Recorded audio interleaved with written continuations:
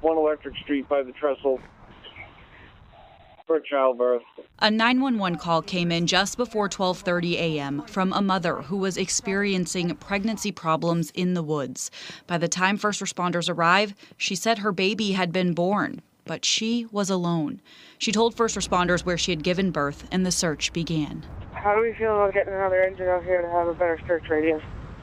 She's saying we're in the right area right here. So we searched for over an hour for that child.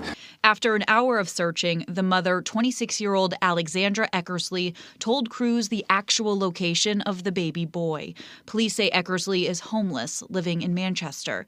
She's the daughter of Baseball Hall of Famer Dennis Eckersley. Crews found the newborn exposed in the tent with no heat, the temperature only 18 degrees outside. Described to me as being, uh, you know, extremely cold, freezing inside the tent. Quickly, first responders performed life saving measures. 8 to 6. Get the newborn. We're heading to the CMC. Hypothermia with the newborn. That baby is alive, currently being cared for at Dartmouth Hitchcock Medical Center. Both chiefs are crediting their crews for saving the little boy's life. We're trained professionals. We act under very rough and emotional conditions, and our guys performed greatly. They really did.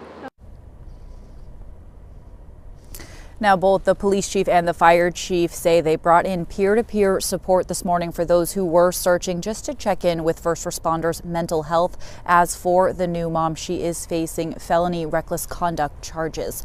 We're live in Manchester. Kelly O'Brien, WMUR News 9.